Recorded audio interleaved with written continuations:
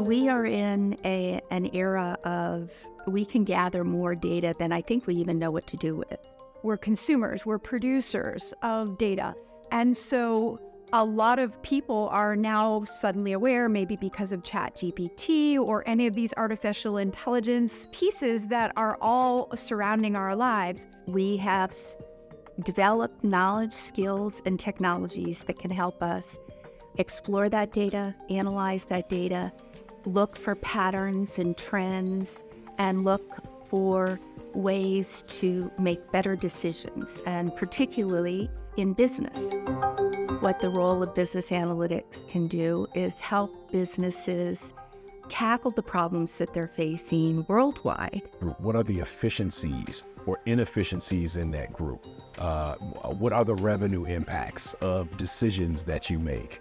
Um, how can you make adjustments to improve performance and things like that? So, data can help you do all of those things. And not only simply improve business performance, but improve business culture. And I think that's where it really adds something to our society. And I think what's been special about the business analytics degree is the fact that we built this degree from the bottom up with uh, working with our partners at University of Maryland and universities at Shady Grove so that it would immediately have all the elements for a seamless transition and articulation. We've designed a pathway, what's called a 2 plus 2 plus 1 degree, an associate's arts in business analytics, transferable to University of Maryland, uh, College Park, Shady Grove, and then College Park. And then continue on for one additional year and get a master's degree in business analytics. And that master's degree would prepare them for what is an emerging role, which is Chief Analytics Officer.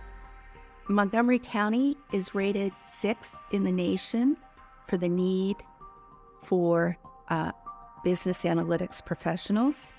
They anticipate the growth to be 25% over the next five years. We are in a highly technical area.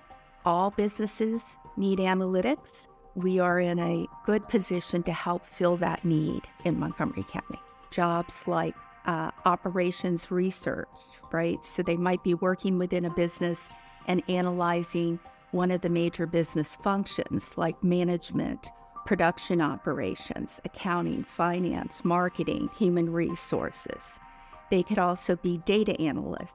So they're looking to start to take what data scientists give us and start to see trends relative to the business. MC has a strong emphasis on experiential learning. We believe that students learn by doing. We try to make the classes welcoming. How do we do that? We make that so that they find data sets that are relevant to them. They work with those data sets.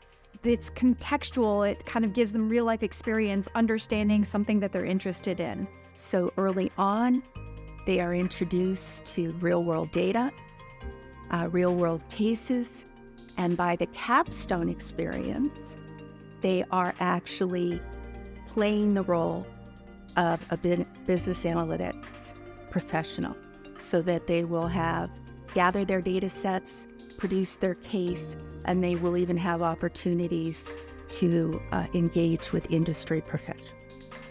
The skills that you need to be able to communicate about data are almost as important as being able to do the work of analyzing the data. All the analysis in the world isn't going to automatically help somebody understand it when you need to explain it to them.